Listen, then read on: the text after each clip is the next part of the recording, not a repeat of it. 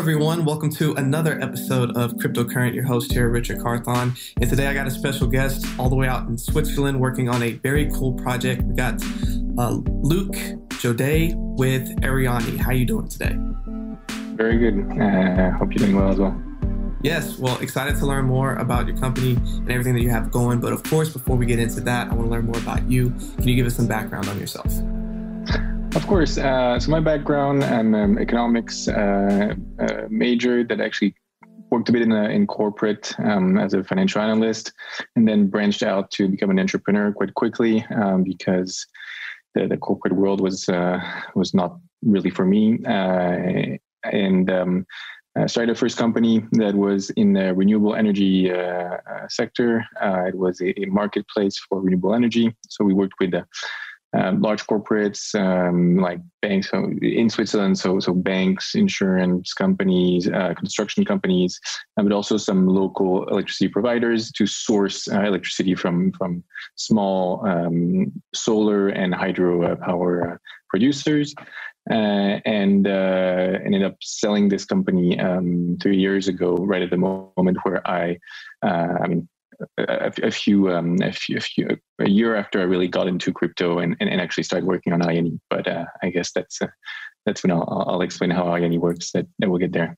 For sure, and you know, very interesting background. I definitely understand uh, the corporate world struggles of being like, ah, oh, this, I don't know if this is necessarily my path, and then pivoting into something that is more up your alley. So, you know, tell me about your first experience with cryptocurrency and blockchain. Like, how did you first learn about it, hear about it, and then what made you say, like, wow, this is really cool? How do I find a way to get more involved?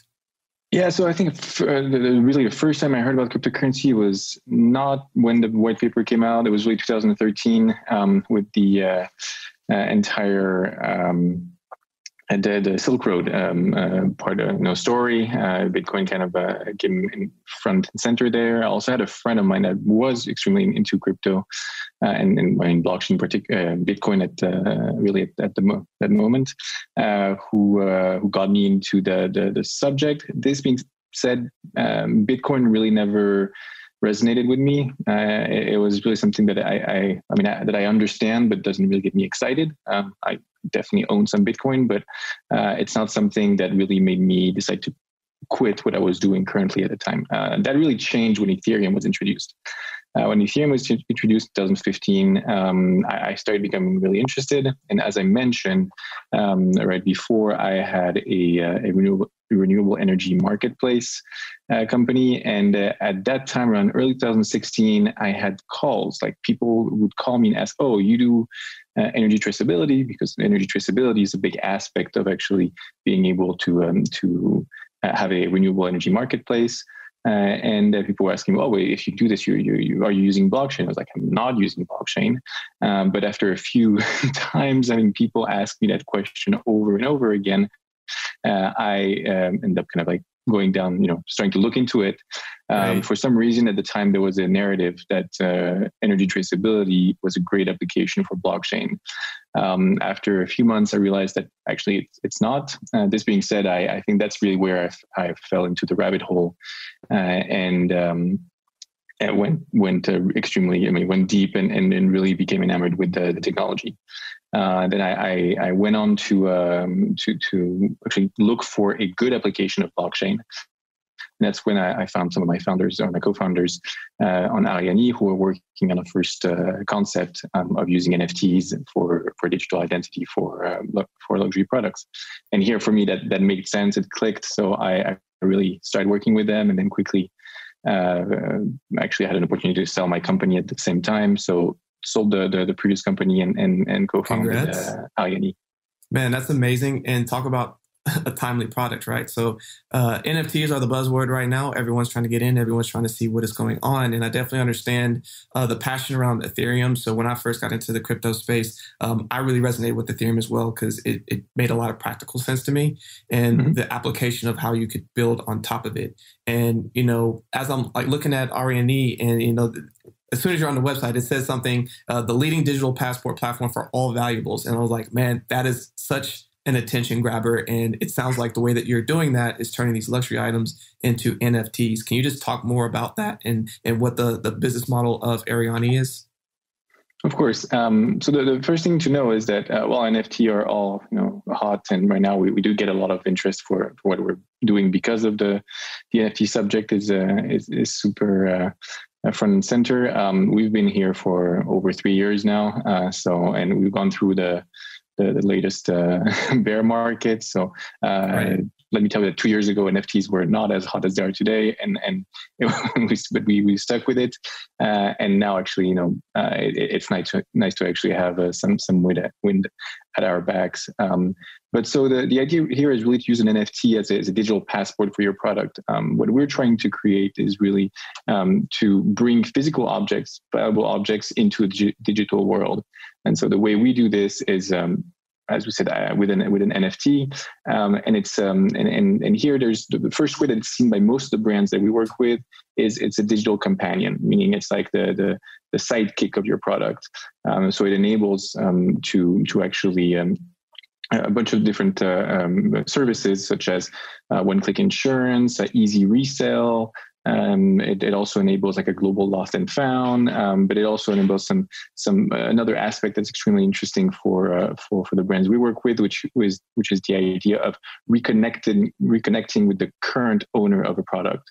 Um, a lot of the brands we work with actually do not have a direct connection with a large part of their uh, customers or with the people that own their products because they manufacture products, but don't necessarily sell it directly just via uh, retailers. And here, because that digital passport is a peer-to-peer, um, uh, freely transferable uh, passport uh, for your product that proves that you own a real object. Um, the current owner always has this um, this this passport. Uh, however, it's a connection that's completely uh, anonymous because it's uh, you know it's it's, it's an NFT like any other NFT, meaning it's in a right. in a in a crypto wallet. So the only thing that you have to to connect is is uh, the, the, the, the, public address.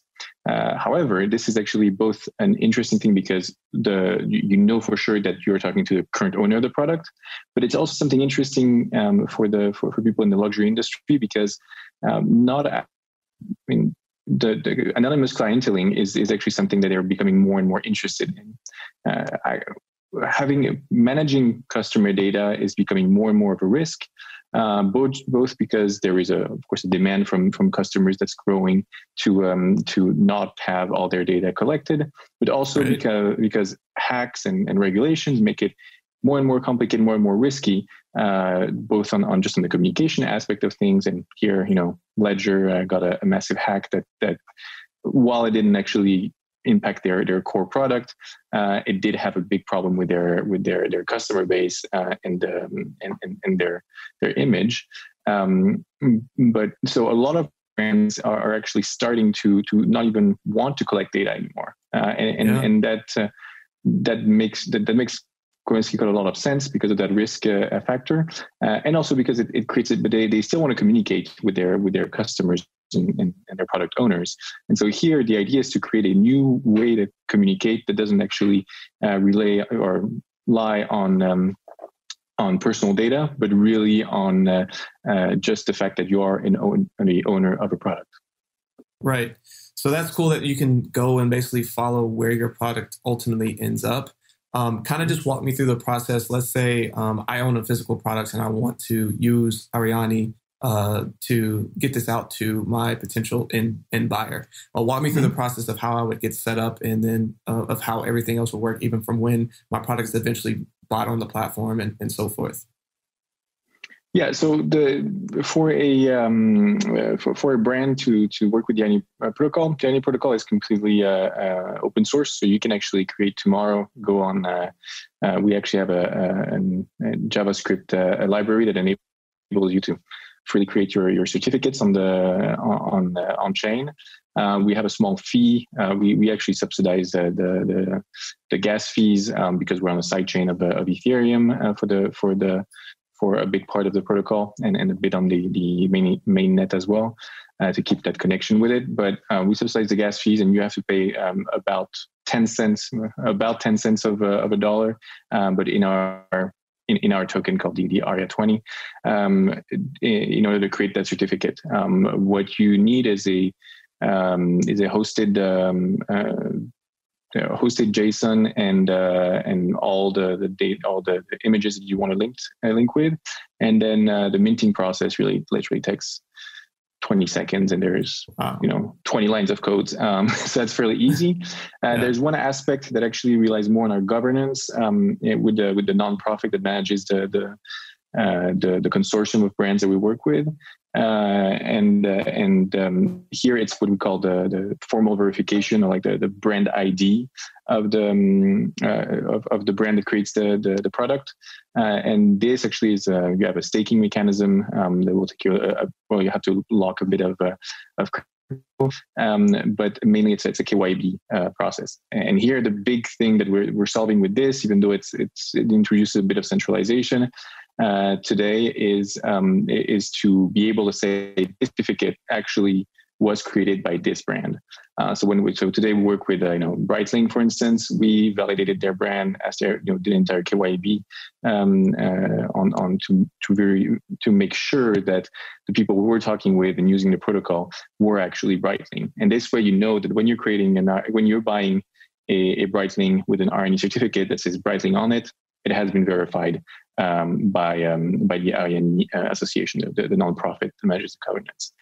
Um, tomorrow, we're actually really looking into how we can completely centralize this process. But to me, that's still kind of like the aspect in, in governance that you know uh, requires a bit of a, of manual process. And if there's a manual process, means uh, you, you, need you need some some humans to to intervene. For sure, and you know to, to validate the the brand, the, the KYB know, know your brand. I think that's very important. Uh, that way, mm-hmm. uh, you know, you're not getting uh, messed over because unfortunately, in some of these scenarios, you can have, you know, these NFTs that are being made by, you know, either these new brands or these brands that are claiming to be uh, mm-hmm. someone that they're not, um, yeah. which can cause plenty of problems as you get into some of these different uh, marketplaces um, where you think you're buying it from um, a established artist and it just turns out mm-hmm. someone else just got up there and, and spun up something uh, quickly. So I think that's an important yeah, aspect of I, it as well. I've created a few uh, Beeple NFTs, you know. right. Fortunately, didn't sell them for as much. right. I'm, and, I'm joking. No, for sure. And, you know, one of the things that's, I think, really unique about Arianee as well is you're kind of positioned in a place to continue to be a leader in this NFT space as more established brands try to come into this space. So kind of can you walk me through a little bit of the roadmap of like, you know, where you presently are and a, a use case of some of a brand that's come on and has, has seen success and where you think some future brands would be able to come on and, and what that would look like for them? Of course. Um, so we have uh, 25 members uh, in the in the consortium to, to date, and uh, we're adding some more almost every week. Uh, and uh, um, some of the most notable are, are the, the Breitling, Audemars Piguet, uh, Vacheron Constantin, Vacheron Constantin, and, Breitling, um, and also the brand Bash have already launched um, a, on a, on first collections. and that started last year. The, the, the, protocol itself is live since the end of 2019. and the first brand that started uh, launching pilot projects on uh, last year. And uh, since January 1st, Breitling is the first uh, brand to have launched on their t- entire collection. So, meaning if you go to a store and want to buy a Breitling uh, watch, uh, you will get an Arianee certificate. Uh, since uh, awesome. for, for, since uh, January first. Uh, so the, the, the process for I mean the the process for them was you know they started with a pilot project to, on a small collection. Like Breitling did that on the, the top time, which was like a reedition of a, a James Bond a limited edition of a James Bond um, a vintage watch. Uh, and uh, when that works well, they, they moved on uh, later on to the, on the full collection. Um, one of the, the so of course what we do with the, with the, the first thing we do with the with the certificate is we replace the certificate of authenticity, which is a little piece of paper that you get into your uh, into your your box when you buy your your watch. Now there's a QR code that you scan to claim the, the digital uh, um, passport, the digital certificate of authenticity, uh, and you can get you can discard the, the paper. Um, it's also a proof of ownership, um, so so technically it can replace the uh, the the receipt, um, and it's also um, the place where you you you can record all the different information about your watch, meaning when you serviced it, um, who owned it in the past, but also you can imagine having uh, stamps for an event, a special event that you've been to. You can say like, oh, this watch went to uh, I don't know the, the 24 Heures du Mans or or to uh, or to uh, Roland Garros to stay in right. in France, uh, and, and and have like bring history, like a, like actually record history of the product. Yeah. Uh, it gives also a bunch of information how the, the product was produced, of course, uh, and the, the and then when you talk about integrations with other um, with with other service, one of the things that Breitling did actually was integrate their their e warranty system. Uh, so now when you claim a certificate, it launched automatically the e-warranty. Uh, it's like a five year, I think, uh, uh don't quote me on that. I think it's a five year warranty or three year warranty um, that uh, that is launched automatically. Uh, and and then when you need to actually contact the the customer service, you can do it via the certificate. And the certificate today is in a is in an app that that we developed. But this certificate, of course, is is uh, is crypto, so it could be in any you know crypto wallet that anybody would uh, would, would, produce. Uh, and uh, and here in the app, you uh, you just click on your certificate uh, and say contact Breitling, and and then you get a, you, you can start chatting once again without having ever given any of your personal information. Yeah, wow, that is super cool. I mean, I definitely, and, and I'm sure for a lot of people listening, you know, just seeing how impressive that is. I remember one of the first like watches I've ever bought was like back when I was in college or uh, university, and um, it was a Swiss franc, and I was very proud of this watch. And one day, I know that I had like a three year warranty, and I, I, think I broke it mm-hmm. year two, but I didn't go through the process of like going to get it fixed. And it would have been cool because mm-hmm. um, again, I love that watch. I used to wear it all the time to be able to like track it and be able to show like the full history, um, so that you know in the in the future, whether I gave it to a, a, future kid or gave it to someone else or I wanted to sell it, I could show its true value because it was truly being marked that entire mm-hmm. time. Mm-hmm. Like that is super cool. Or the fact that like if someone had a piece of jewelry or, or a piece of clothing or whatever it is, and then wanted to go and sell it, they could really go and point to the history of like all the things that have happened. And like, man, that is that is really unique and powerful, man. That's that's really cool. Yeah, no, we we think so as well, uh, and uh, and and really, that's that's one of the the great um, uh, value proposition here. Uh, the, the the second one is is really that aspect of also of um, being able to to get a, a an instant feedback uh, from um, from a brand without having to prove that you actually own you know the true object because uh, a lot of time you know to get access to uh, to um, to the repair and to, to to talk with a with a customer agent for those you know high uh, value products. Uh, they, they the, the, the brand is actually going to ask kind like a, a, proof that you actually own uh, one of their products. Uh, actually, one of the brands that we talked with told us that they they launched a couple years ago a VIP program um, where the only thing you had to do was to um, to register was just to go on there and enter manually the model that you actually own. Uh, and then you would enter into the, the model of their product that you actually own. And then you would enter into their VIP uh, program, which you had like special deals and special relationships. Uh, except their issue was that they had more people sign up than watches that had been sold. Mm. So meaning like people who were who did not have the the, the product uh, could actually uh, um, had actually joined the VIP uh, program, which I mean can be a good marketing strategy. But for those really, you know, for those valuables or high end kind of like exclusive products, the, the idea is that you you want to you really want to target the people that actually own your product because your your VIP program is is is is a loss leader. So you're trying to create a special experience for the people that actually uh, are your your true customers. Yeah, I, I mean, and having that validation, being able to to sift through the the people that always try to find a way in um, would be mm-hmm.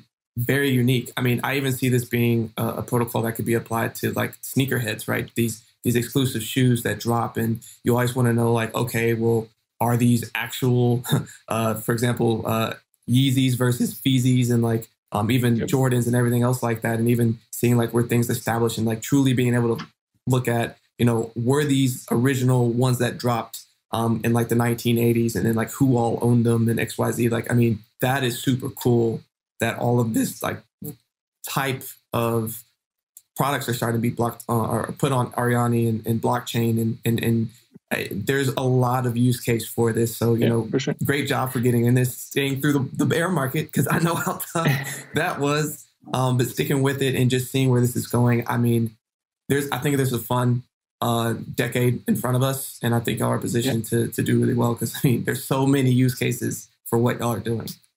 Indeed, indeed, and and and um, and absolutely, when you talk about sneakerhead, absolutely. Um, I mean, the the of course we started with the with watch uh, with watches because that's that's kind of where there was a a, a first uh, product market fit. Uh, right. But uh, the new luxury is streetwear, uh, and and sneakers uh, is the is the uh, the Rolex, you know, a pair of Yeezys, the the Rolex watch of uh, of the, the new generation, and uh, we've already started working with um with uh, actually one um, sneaker company called Satoshi Studio, who uh, who is actually really uh, in the crypto um, environment, um, and and we're we're actually preparing another launch with another.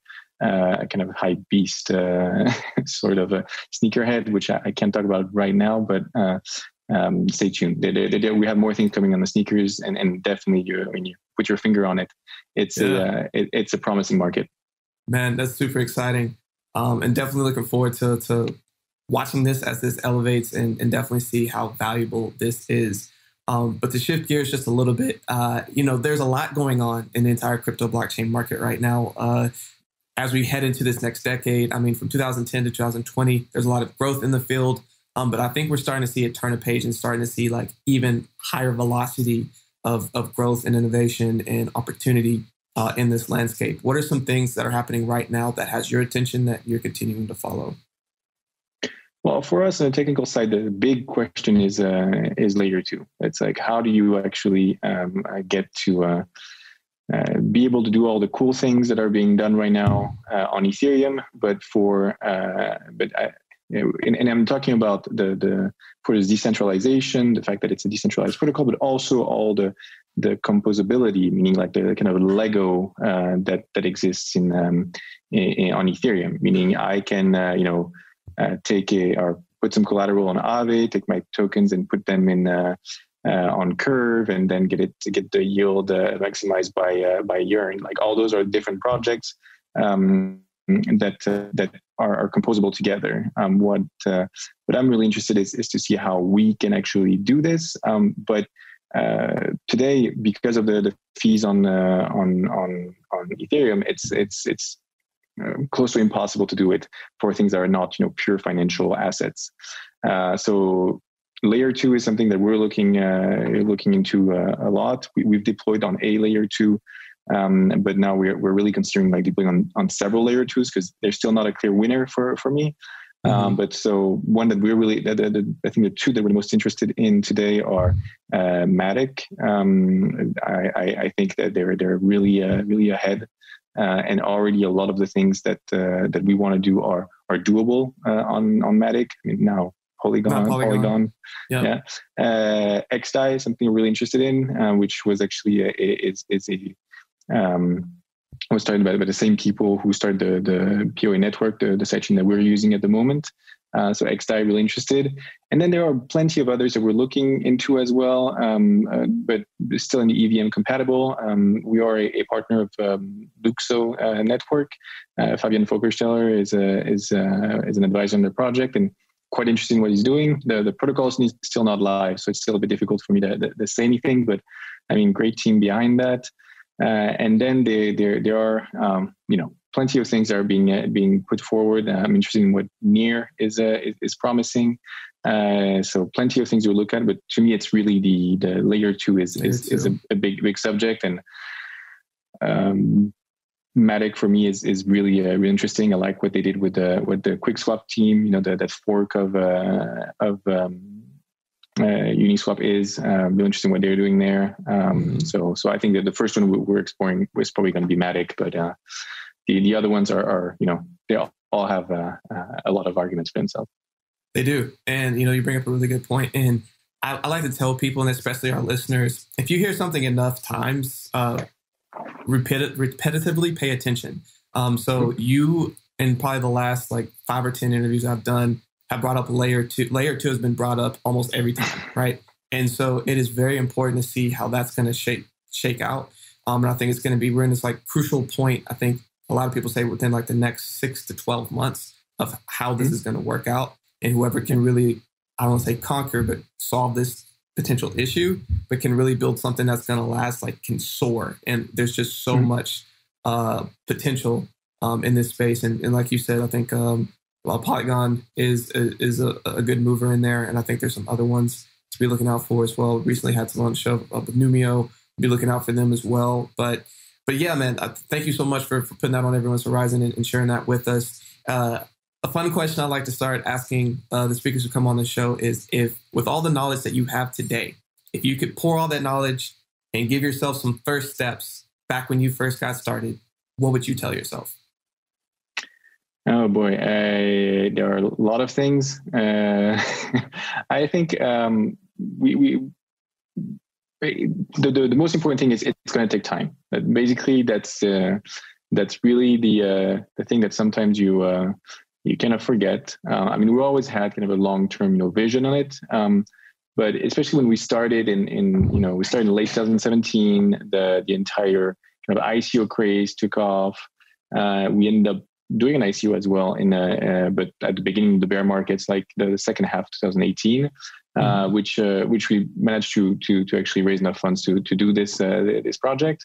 Um, but there were so many times uh, where where you know it really felt like oh wow this is going to be just like an overnight success and and and uh, and and it's going to be done in in you know in three months we'll be we'll be everywhere.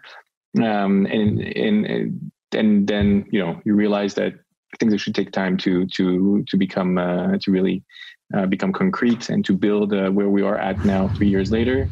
Uh, and in a way i think that's that's if, if uh, you know i have an advice to kind of give myself but also people uh, myself three years ago and myself today and people today is that i feel like we're kind of in the same in, the same uh, moment right now meaning there are a lot of really cool things that are going on it's showing the future and and it's it's going to continue i think for for for a good deal of 2021 um, so it, it's exciting. Just everybody should should realize that it, it's going to keep it's going to take time to actually uh, um, uh, you know, build something selling, get it all done, and just don't um, you know don't don't become desperate when at the end of the year you know the craze is is a has died down a little bit, let's say, uh, and that you have to put your head back down and, and go to and you know go work at it uh, again. Uh, it's uh, it's it's a long process, but uh, honestly, it's a rewarding and enjoyable uh, process.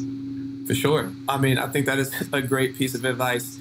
This thing takes time. It's a it's a marathon, not a sprint.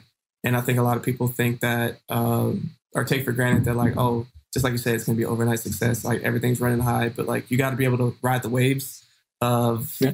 of of the highs and lows of entrepreneurship and success and building a company and, and what it mm-hmm. takes. And it's all. I mean, ultimately, I believe it's all going to be worth it. But like the ones who have building are building to last. The ones that are building for the future are going to be the ones that make it and mm-hmm. ultimately soar. So I definitely agree with that sentiment, and I definitely appreciate that. And I think that's a great reminder for all of our listeners here today. But you know, um, Luc, you've dropped a ton of great knowledge on us. You shared a lot of great things that's going on with Arianee and uh, where that's headed. But what is the final thought that you want to leave with everyone listening here today?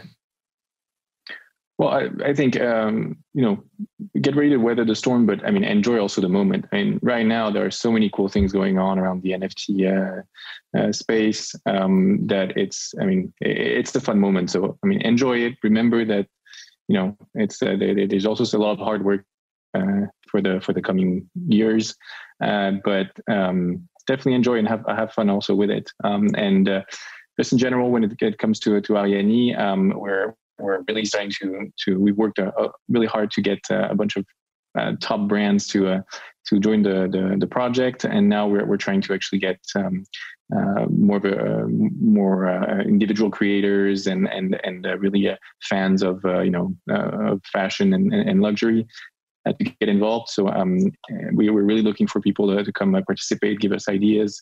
Uh, we are we're really open to um, to to any suggestions of things we should build. So um, we're on Discord, we're on Telegram. If you just go on our on our uh, website arianee.org, you'll find all the links. Um, and uh, and I'm really looking uh, looking forward to um, to have uh, some of your listeners come and, and join us and and you know help us build this thing because there there are a lot of things to be built by us and also by the community. Once again, it's, it's an open protocol, so anybody can uh, can actually build on top of what we're uh, on top of the certificates we're building, and there are there are a lot of things, cool things to do. So um, definitely get in touch. Uh, where we're uh, our door is wide open. Awesome. Definitely appreciate that. And everyone listening, make sure you definitely go check this out. Um, for everyone that wants to do that, what are some ways that people can connect with you and also learn more about Arianee? Yeah, so we uh, so the Telegram and um, and, and Discord are, are really the, the places where um, where you can have a conversation with us. Um, otherwise, I mean, Twitter, uh, Arianee Project uh, is a handle. My handle is uh, Luc Jodet. Uh, happy to, to, to to discuss there as well. Uh, and uh, to learn more about the, the, the project itself, um, go on um, arianee.org. Uh, you have all the technical documentation, all the, the details about the, the, the governance and the, the, the brands are involved in the project uh, and some use cases. Um, so uh, I think if you start uh, start there, that that should get you most of the information. Otherwise, once again, reach out. we're really happy to talk to to all of you guys. Awesome. Well, again, Thank you so much for joining us. Thank you for dropping all that great information. Everyone listening, make sure you go check that out. And of course, for everyone listening, stay cryptocurrent. Today's podcast is brought to you by Tantra Labs, where you can earn 12% in Bitcoin and Ethereum yearly. Tantra Labs is a team of researchers, engineers, and data scientists, economists, and optimists whose primary focus is in Bitcoin, which they believe will usher in a more prosperous future built on sound money. They offer real time loan tracking fast automated onboarding, 100% payment history, and multi sig storage. And again, you will get 12% APY on the crypto that you loan. Tantra Labs is taking on international clients as well as clients in the US, except for the state of New York. For more information, please go to tantralabs.io. Again, that's tantralabs.io.